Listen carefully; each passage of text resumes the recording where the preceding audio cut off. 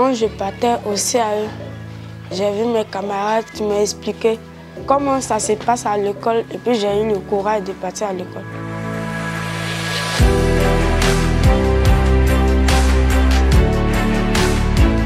Je m'appelle Niazele Deborah, j'ai 14 ans. Je fréquente à Irubo et Pépé Biako 3.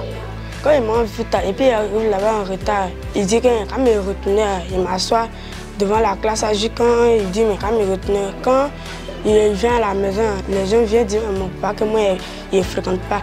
Et ça, mon papa dit si c'est ça, comme tu ne veux rien, il faut rester ça. Ça c'est ici, tu es à l'école.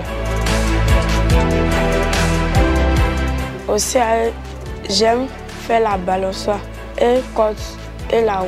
C'est un nouveau collègue est venu de son passage dans le centre CAE et qui m'a d'abord le cas de la fille, celle de choses, qui est au CE2. Voilà.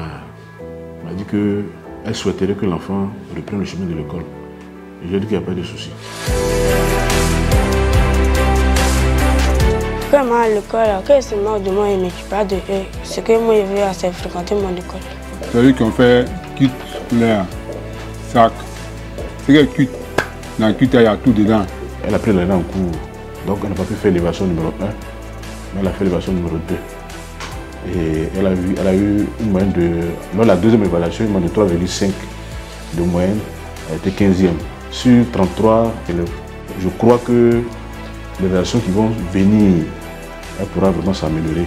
Je note vraiment une volonté d'aller l'école. Elle est toujours là, elle est assidue à l'école, elle ne manque pas. Je m'appelle. Je m'appelle Kambou Boni. Un au CP1 à l'EPP Biakou 3. Quand j'ai commencé à, à, faire le cours avec les enfants, ils étaient les meilleurs élèves qui réagissaient. Donc pour moi, je me suis dit qu'ils ont fait la maternelle. C'est après des informations, ils m'ont dit qu'ils ont fait CAE. À la première composition, Dominique était premier avec 7 de moyenne. Eric était cinquième avec 6 de moyenne. Et à la deuxième composition, Eric était premier avec 7 de moyenne. Dominique était septième avec 6 de moyenne. Quand il y a des compositions, il y a une partie où on demande à l'enfant, tu veux chanter ou bien tu veux réciter.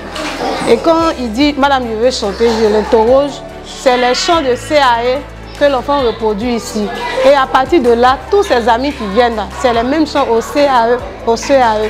Au CAE, jamais à parole, c'est toujours travailler. L'oncle Kofi.